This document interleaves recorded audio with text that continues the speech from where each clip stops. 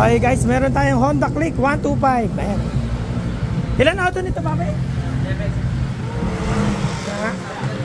Okay, Odo. Ayan, Odo. Ano natin ha? 11.5. 62. Ayan, from Herona, Tarlac. Virgin 3 to guys, Virgin 3. Tapos ang pipe nito is MP8. Tapos stock pang gilid. Okay, after natin i-remap, um, papalit tayo ng CBT. So, malaman natin kung ilang horsepower yung magiging additional.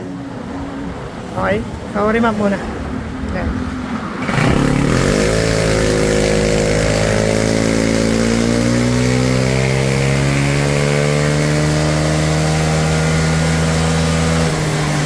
So, custom map po tayo. Hindi po tayo gumagawa ng copy paste. At uh, hindi po tayo nagsasend na stand.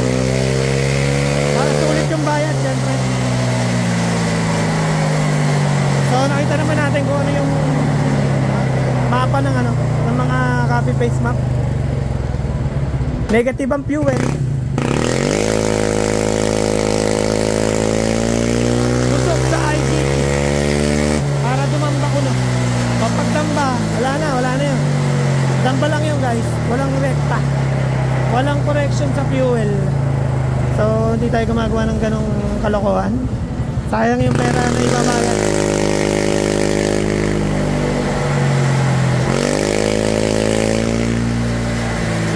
Sorry map muna guys, sorry map.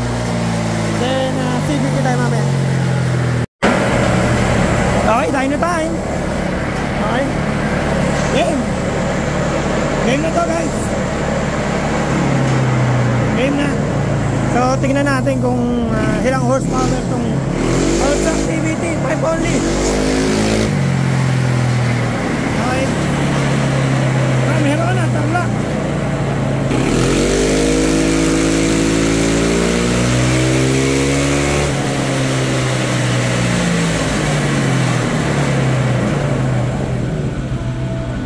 Okay.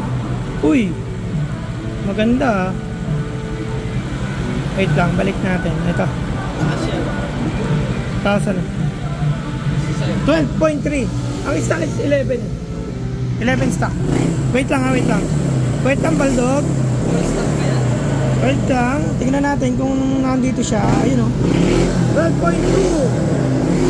Ayun o, 12.2. 6485. Power band.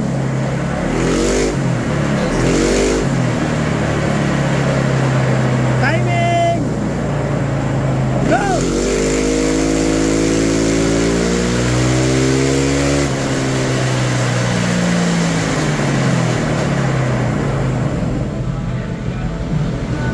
Ayun o. 12.1 at 6.4 36 RPM. Okay. So ngayon, CCBT natin to. Ah, gagamit tayo ng Project FI. So malaman natin yung difference ng dalawa. Okay? Okay, game na. Next muna isa. Okay, so ito na yung panggilid. All stock.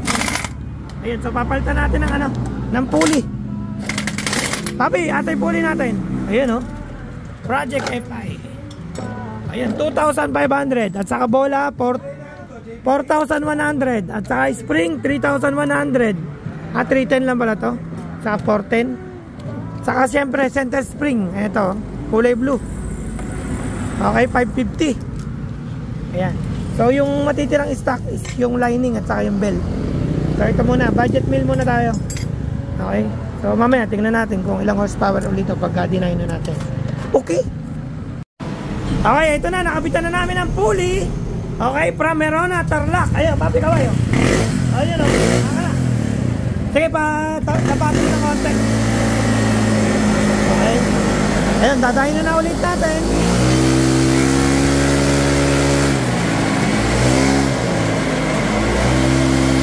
Palabat muna guys, palabat.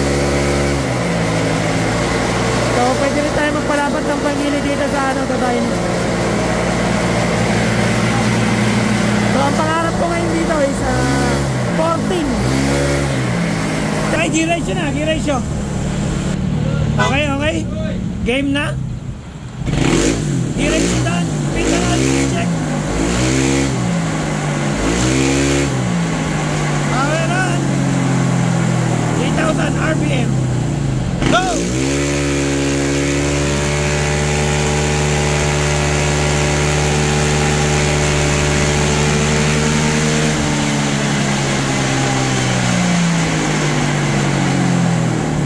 Fluctuating yung ano natin, yung coil mo. Ayun oh. So kanina 12.3 ang nakuha natin ha. 14.0. Yan ang pinapangarap ko. 14.0. Ah, fluctuating yung ano natin oh, yung RPM natin oh, sa coil. O isa pa. Consistent, isa. Last last one. Nalita ko ng pindot, guys. So, ganito lang katimple magpalakas ng Honda Click. Go!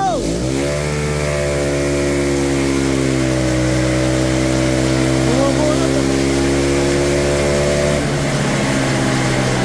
Dulas pa ibang giling natin.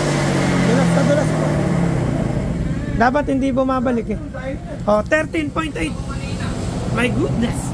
Okay? Oh, so ganun lang guys. Ganun lang kasimple. Okay na.